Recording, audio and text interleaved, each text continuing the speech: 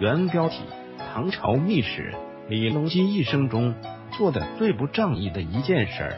历史刘老师原创，非授权严禁转载。唐睿宗景云二年（公元七百一十一年二月），在与自己亲姑姑太平公主的斗争中，处于下风的太子李隆基，为了保住自己的太子之位，不得已出卖了为自己保驾护航的两位朝廷大员姚崇和宋璟。在此之前。太平公主已经两次离间唐睿宗和太子李隆基的关系。如果唐睿宗相信自己的儿子，那么还没有什么。但是要命的是，在太平公主发不断造谣下，唐睿宗竟然还真的对自己的这个儿子起了疑心。甚至唐睿宗还曾经让一位心腹大臣悄悄去调查太子李隆基的不法之举。好在。此位大臣并非是太平公主的党羽，在此人的劝说下，唐睿宗才最终打消了对太子李隆基的怀疑。与此同时，身为朝廷执政大臣的姚崇、宋璟也在私下里紧锣密鼓的为太子李隆基谋划着一些事情，希望以此来稳固他的太子之位。经过深思熟虑，姚崇和宋璟。决定向唐睿宗建议免去几位皇子的兵权，把对太子之位有威胁的皇子李承器等人外调到地方为官，同时把太平公主和驸马武攸既安排到东都洛阳，以减少他们对于朝政的干预和影响。最终，唐睿宗听从了姚崇和宋璟的这一建议，下令自此之后，皇子和驸马不许掌握禁军兵权。目前掌管禁军的皇子和驸马全部调离现职为诸王，驸马自今无得点禁兵，见任者皆改他官。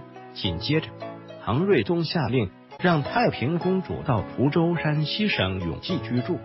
然而，就在众人按照唐睿宗的命令开始调整工作岗位的时候，一个人的举动却让整个朝廷轩然大波。原来。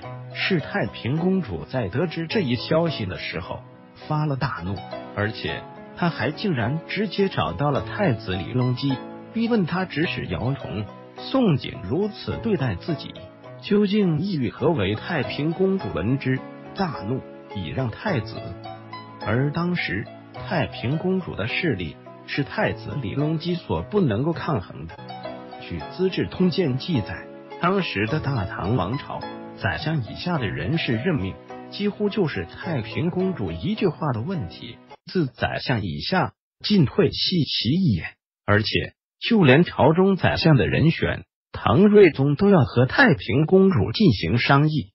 甚至有些时候，太平公主不去上朝的话，唐睿宗就会先派宰相去太平公主的府邸进行咨询，然后再进行最后的决策。或时不超夜。则宰相就递资之，如此权倾天下的强势女人，身边亲信根本无力与之相抗衡的太子李隆基，也只好先与之妥协，以保全自己的地位。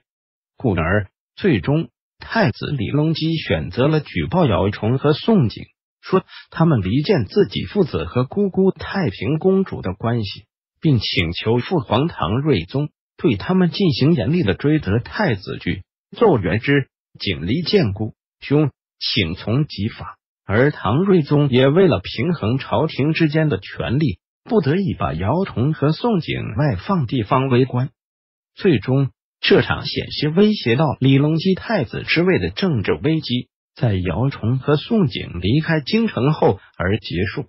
参考史料《资治通鉴·唐纪二十六》，返回搜狐查看更多。责任编辑。